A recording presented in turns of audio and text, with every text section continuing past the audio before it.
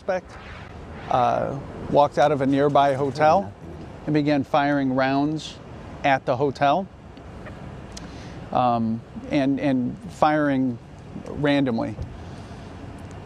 The um, male attempted to ignite a Molotov cocktail by throwing it against a business, um, and that fortunately did not light.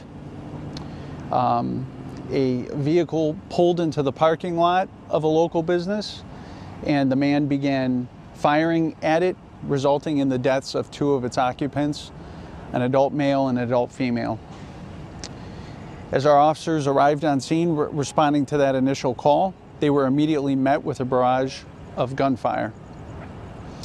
Uh, an exchange of gunfire occurred, resulting in the injury of two of our officers. Uh, both were transported to local hospitals. Uh, one remains hospitalized, the other has since been released, and they are both expected to survive their injuries. As a result of this, three of our community members also sustained injuries. All three have been treated and also have been released from the hospital. The suspect in this case was wearing uh, tactical like equipment to include some sort of vest and some uh, and, and a Kevlar helmet.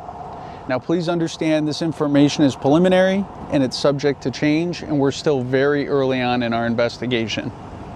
Do we know how the other three community members were injured?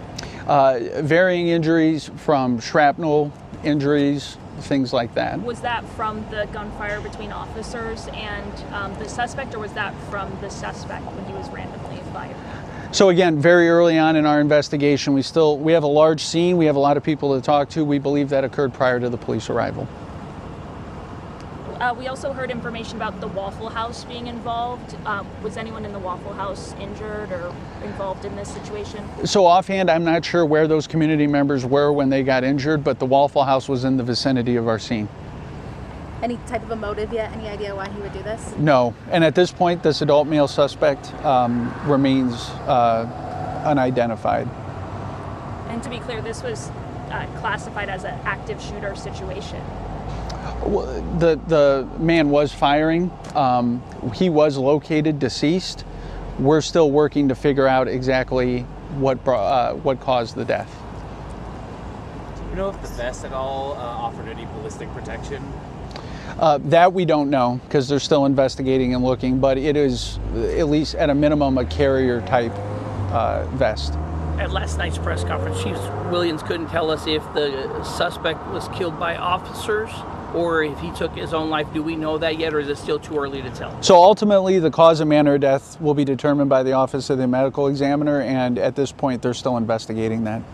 Was he staying at the Days? Okay, we're continuing to listen to the press conference that police are holding out here in Deer Valley near the I 17. This officer involved shooting three people dead, including the suspect. We're going to learn much more on this incident coming up in the next several hours. We'll be right back.